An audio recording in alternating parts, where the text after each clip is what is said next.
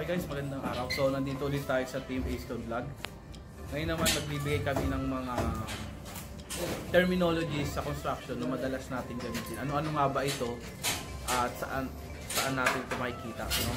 Mga terminologies na Tagalog madalas natin marinig pero hindi tayo aware kung ano nga ba ito. So, okay, umpisahan natin sa salitang asintada. Ano nga ba yung asintada? So, yung asintada, ito yun. Ah, ito. So, laying of CHP. Yan. Asintada. So, wala pier pa lang siya. So, wall siya na wala pa siyang pitch. So, pangalawa is yung rebukada. Ano nga ba yung rebukada na tinatawag? So, ito yung rebukada. Ito,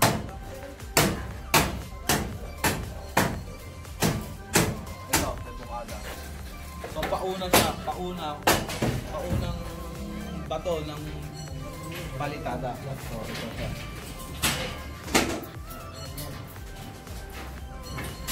Yan yung tinatawag na nat- natin, rebukada. So bago tayo magrebukada, minsan pagka makikinis yung re-rebukadahan mo, papalitadahan mo, kailangan mo muna ng tik-tik. So kakaiba yung term pero ginagamit yun sa construction. Ito, tinitik-tik muna. Yan. Para maging rough siya. Para kumapit yung rebukada natin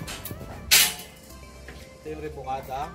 So, tiniktik muna yung poste, yung surface para maging rough. Then, sunod naman natin yung palitada. Ayun, palitada. So, as you can see, medyo finish na siya. Yan. Palitadahan na siya. So, yan na yung ah, medyo finish na nung ah, wall natin. Forma. Ito, forma. O formworks, tawagin. So, yan. Ito yung ginagamit para makapag-form ka or makapag-mold ka ng concrete. Ang anim ay kabilya. So, ito kabilya. Mga bakal.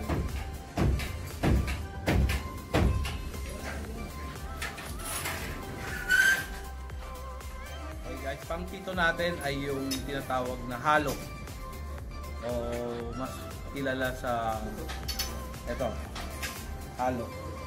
Madalas yan ay mix of cement, sand, and gravel. Yan, halo.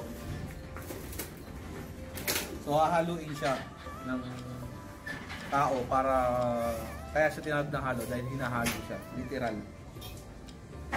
Pangwalo ay biga o beam. So, beam. Yan. So, ay beam.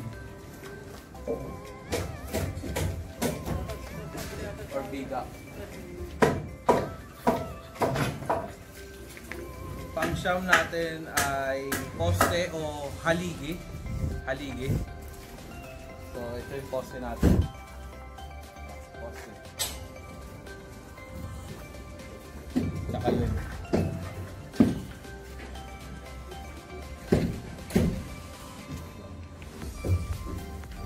Poste natin, tiniktik na dahil re-rebukada ka na.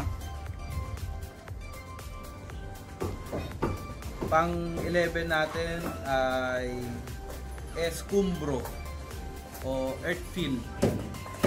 So, nandun sa baba, escumbro, earth fill or panambak tinatawag. Pang 12 natin, larga masa or wrap slab concrete. Ito. So, makikita nyo, buo siya na flooring.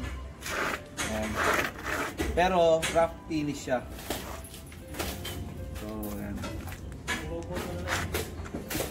Sunod natin ay andamyo. Ito, andamyo. Or scaffolding. Or, yan yung ginagamit para tungtungan ng mga tao. Makaakyat, makapag access dun sa pupuntahan nila. So, meron pang isa, dagdag natin yung bully. So, bully is kung paano yung palitada, naging makinis. Binubuli yan ng rodela.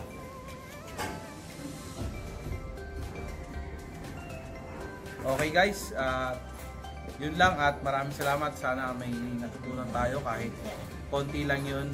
So marami marami pang terminologies in Tagalog na pwede natin i-discuss. Pero sa ngayon, yun lang muna at maraming salamat guys sa panonood nyo. Thank you and keep watching AceCon Vlog and please don't forget like and share our FB page. Thank you and God bless you.